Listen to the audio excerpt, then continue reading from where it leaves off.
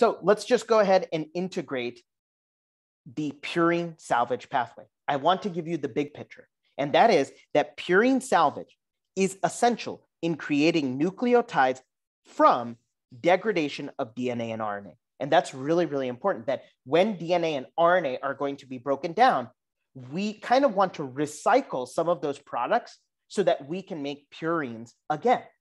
And so, one of the enzymes that helps us recycle those broken down products is going to be HGPRT.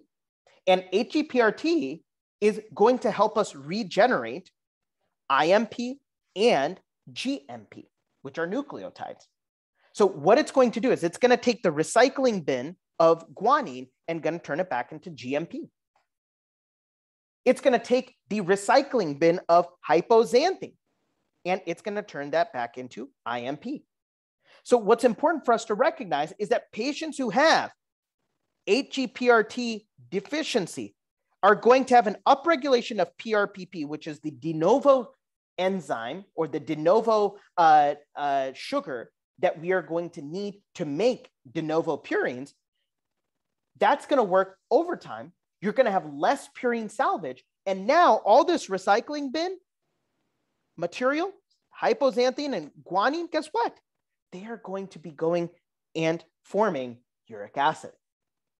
And so that's why patients with Lesch-Nyhan syndrome, HGPRT deficiency, are going to have bad purine salvage, and subsequently, they're going to have elevations in uric acid and gout.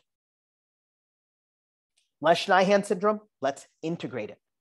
From a neurological standpoint, these patients are going to have developmental delay and self-injurious behavior. In fact, the elevated amounts of uric acid are going to cause striatal dopaminergic damage. And that's one of the mechanisms implicated. The free, um, uh, the oxidative damage in the brain is going to what cause uh, is going to be the basis of what causes the self mutilation. And so that's why you can see like nail biting, for example.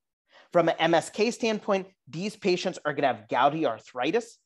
And from a renal standpoint, they're going to have a tendency to form urate crystals. And remember that these are these diamond shaped or rhomboid shaped crystals, which are going to precipitate in acidic pH. And so, a couple things to integrate with uric acid stones is the following. Ready? Number one, you have to recognize that they're going to be radiolucent on your radiographs. That's different than calcium stones. And number two, because they form in low pH situations, urine alkalinization may be one of the mainstays of treatment. And so, welcome, welcome to HyGuru. Integration is going to be what gets your score up.